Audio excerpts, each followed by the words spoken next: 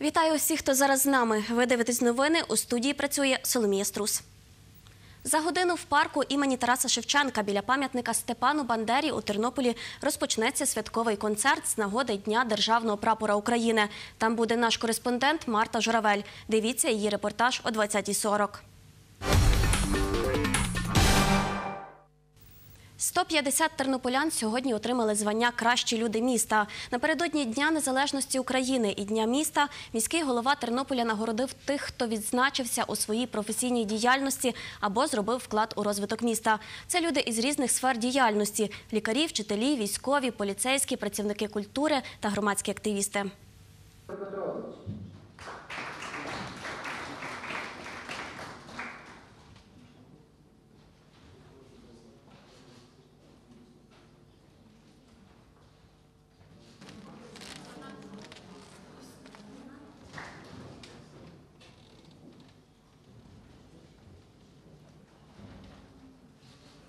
Мені, по-перше, це дуже приємно, що я потрапила до такого списку. Ну, на мою думку, я є скромний працівник, але я стараюся своєю працею якось, ну, принаймні, покращити життя у нашому місті своїм ставленням до людей, своєю роботою кожен день. Нехай вона така, можливо, і непомітна, але хто мене знає, можливо, то наші жителі міста, хто звертається до нашого військового комісаріату, ми завжди стараємося з розумінням підійти до кожної людини, надати певну допомогу, підтримати, роз'яснити. Звичайно, щоденна буденна праця.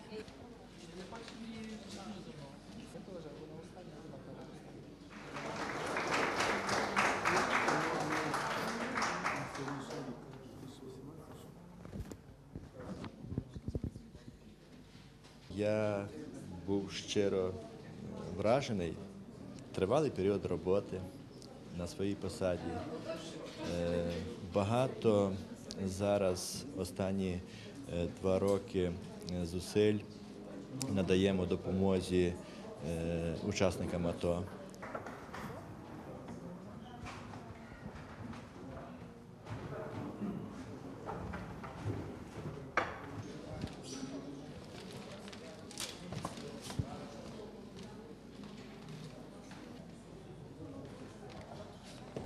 Нагороджені є всіх сфер діяльності міста. Це і культура, і освіта, і медицина, і військові, і правоохоронці, це громадські діячі, це люди, які працюють в сфері національної пам'яті. Е, Відбувається це нагородження на підставі тих подань і звернень, які роблять трудові колективи, які роблять громадські організації.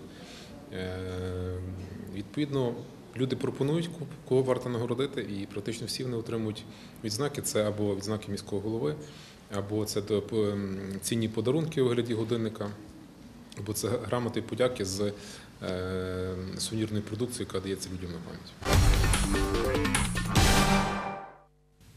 Дев'ять учнів тернопільських загальноосвітніх шкіл номер 18 та номер 22 взяли участь у пленері Тернопільська палітра на набережній Тернопільського озера. Це відбірковий етап традиційного загальноміського пленеру, який відбудеться у вересні цього року. Подробиці у сюжеті.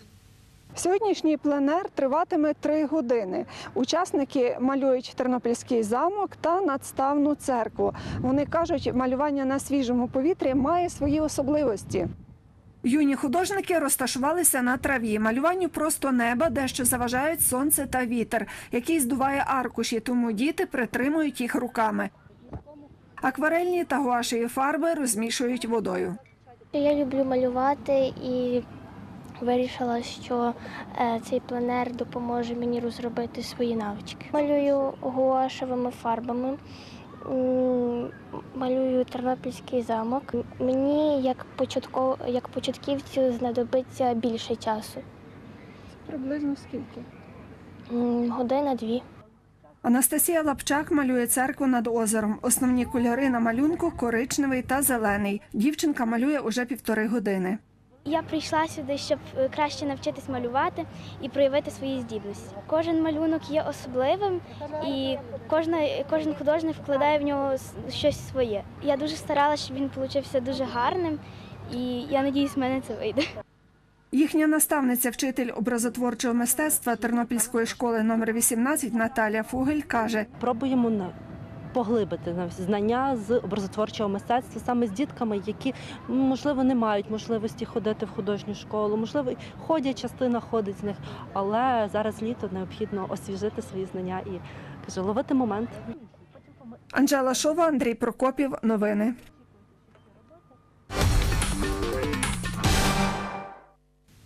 Тернопільська область на 36% покрита цифровим мовленням, яке є якіснішим за аналогове. З 1 вересня на території України відключать аналогове телебачення. Люди, у котрих звичайні антени без тюнера, не зможуть дивитися телевізор. У деяких випадках не допоможе і тюнер, бо не вистачає вишок по області, повідомив начальник управління регіонального розвитку, інфраструктури та дорожнього господарства облдержадміністрації Володимир Шашкін. За його словами, сигнал повністю відсутній у Борщівському, Монастириському та Заліщицькому районах. Погане покриття у південних та західних районах області. Ближчим часом ставити додаткові вишки не планують, додав Володимир Шашкін. У нас 65% тільки покриття аналогового телебачення. У нас працює 5 вишок. Щоб забезпечити, треба 8, ще 3 додаткових. Що ці цифри нам дають? Як ви розумієте, що воно з 2013 року, де була програма і бюджет країни затвердив цю програму, і була стаття відшкодування е, тюнерів аналогового телебачення цифрового, що є якість краща. І в бюджеті тільки один рік був закладений вже в 14, 15, 16, 17 роки. Знову ж таки, бюджету країни не було закладено відшкодування на цю статтю е, соціальних верст населення. Відшкодовувати гроші за тюнер соціальним верствам населення в облдержадміністрації рекомендують місцевим громадам. За словами начальника управління регіонального розвитку Володимира Шашкіна, Тернопільська обласна державна адміністрація надіслала звернення до прем'єр-міністра України з проханням допомогти забезпечити тюнерами малозабезпечені верстви населення. Поки відповіді немає. Представник Національної ради України з питань телебачення і радіомовлення у Тернопільській області Михайло Зубик розповів, що цифрове мовлення не єдина можливість доступу до телебачення. треба або придбати е, тюнер Т2, який перетворить цифровий сигнал аналоговий. Це при умові, що там, де людина проживає, є зараз сигнал аналогового телебачення, або е, купити супутникову тарілку, якщо цієї ще немає, або хто проживає в місті, е, може підключитися до кабельного телебачення або до інтернет-телебачення. Ось такі умови. Найбільш вразливі верстви населення. Ну я думаю, що в селах знають чи голови сільських рад, чи е, керівники громад знають таких людей. Їх не так і багато. І мали би це врахувати. Це обов'язок кожного керівника на місці. І тому допомогти е, придбати такі е, перетворювачі цифрового сигналу. Вони коштували від 350 до 550 і вище. Але е, людині достатньо купити найдешевший тюнер. Додам відтепер у Тернопільській облдержадміністрації працюватиме гаряча лінія, де надаватимуть роз'яснення про налаштування приймальних антен, правильне підключення тюнерів та відповіді на інші технічні питання. Ми продовжимо стежити за цією темою. Зокрема, ми плануємо завітати до людей, які живуть у районах, де погане покриття. Написати колективне звернення скаргу на ім'я міського голови Тернополя порадила керівник патронатного відділу міської ради Катерина Калуш мешканцям будинку на Миколинецькій 113 у Тернополі. Зазначу, вчора до нас звернулися жителі цієї багатоповерхівки. Вони виступають проти будівництва магазину неподалік їхнього будинку. Один із жителів Богдан Тарноруда каже, що забудовник не має права на спорудження кіоску. Власник магазину повідомив, що має усі необхідні документи. За словами Катерини Калуш, скарга жителів буде підставою для того, щоб служби міської ради провели перевірку законності будівництва.